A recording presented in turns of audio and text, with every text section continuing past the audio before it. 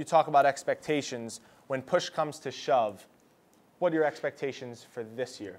I think, the, I think they'll finish in the top five in the MAAC. I think Siena's a really good team so far this year in the MAAC. Obviously, you'll have Marist and Iona as well. I don't know if they're going to be able to match up with them simply because they're young and they're youth. Uh, Tricia Fabbri gets a full year with this team.